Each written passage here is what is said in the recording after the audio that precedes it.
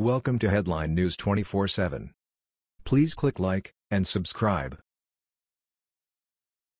Breaking: Judge Jeanine expected to return to Fox News. According to a new report from Breitbart News, Judge Jeanine is being suspended for 2 weeks, meaning she is in the penalty box for another week and will not appear on her show this Saturday. She is expected to return after her two-week suspension has been completed. A petition demanding Fox News bring back Judge Jeanine immediately has over 7,000 signatures. From Breitbart.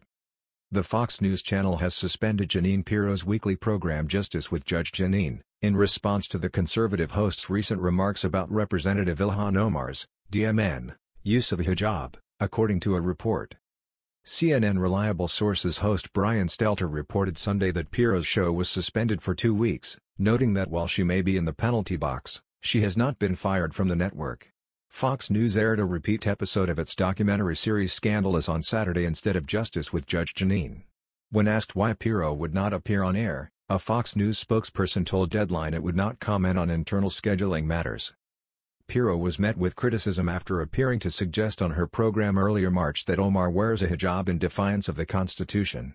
Think about this, she's not getting this anti-Israel sentiment doctrine from the Democrat Party. So if it's not rooted in the party, where is she getting it from? Pirro said in her opening segment. Think about it. Omar wears a hijab, which according to the Quran 33:59, tells women to cover so they won't get molested.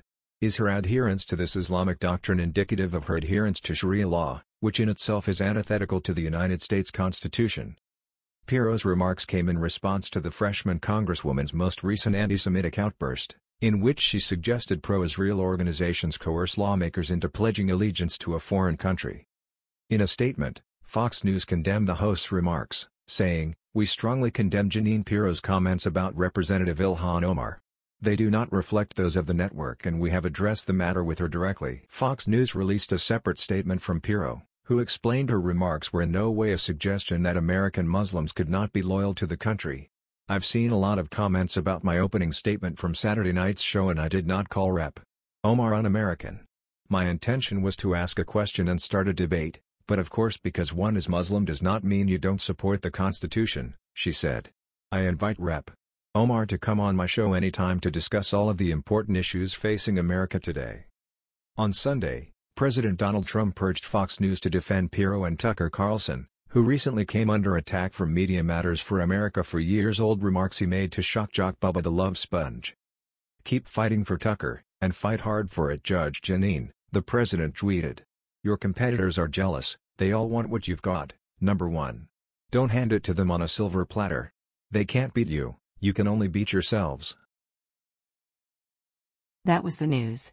We thought you might be interested in knowing about this. Please click like and subscribe.